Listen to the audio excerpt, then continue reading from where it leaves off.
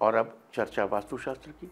वास्तुशास्त्र में कल हमने पहली छह राशियों के अनुसार अपने केबिन में विभिन्न रंगों की कुर्सी और कालीन रखने के बारे में चर्चा की थी और आज उसी कड़ी में हम बाकी की छह राशियों के बारे में चर्चा करेंगे। तुला राशि वालों, आपको अपने केबिन में सफ़ेद रंग के कालीन और चेयर्स रखने चाहिए। वृश्चिक राशि वालों को आपको रेड कलर सूट करेगा और धनु राशि वालों को आपको लाइट येलो कलर। के कुर्सी और कालीन अपने ऑफ़िस में रखने चाहिए। मकर राशि वालों, आपको अपने केबिन में काले या नीले रंग की कुर्सी या कालीन रखनी चाहिए और कुंभ राशि वालों, आपको भी अपने केबिन में ब्लू, डार्क ब्लू या दूसरा नंबर काले का है। इस रंग के कुर्सी और कालीन रखने चाहिए। मीन राशि वालों को आपको गोल्डन येलो कलर के कुर्सी और कालीन रखनी चाहिए।